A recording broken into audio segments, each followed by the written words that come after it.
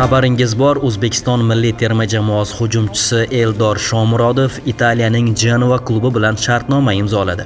Italyan jamoasida tibbiy ko'rikdan o'tgan eldor shomurodov chempionat nuqta aziya mushtariylari bilan o'z taassurotlarini o'rtoqlashdi.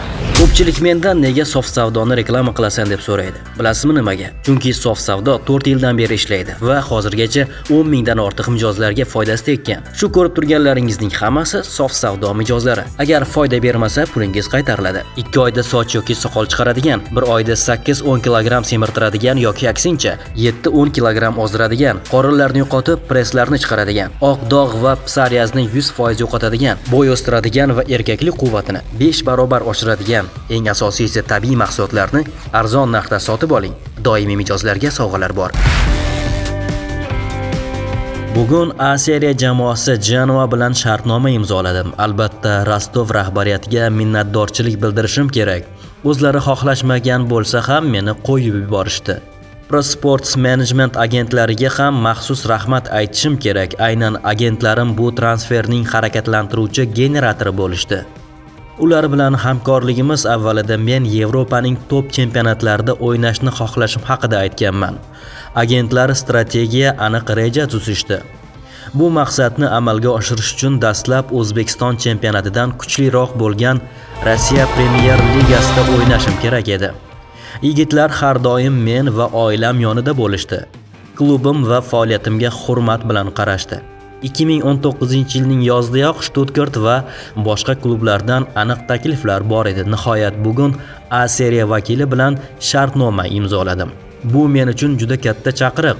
O'zbek futboli uchun oldinga tashlangan ulkan qadam. Endi Genoaning muxlislari soni 32 millionga ko'paydi dedi Shomurodov. Shu o'rinda Genoa klubi haqida ma'lumot berib o'tamiz. Genoa shahri jamoasi 1893-yilning 7-sentyabr kuni tashkil topgan Italiyaning 4-tarixiy klubidir. Chempionlik soni bo'yicha 4-o'rinda turuvchi mazkur klub dastlab yengil atletika va kriket sport turi bo'yicha faoliyat olib borgan. Oradan 4 yil o'tib, ya'ni 1897-yilda futbol klubi sifatida faoliyat boshlaydi.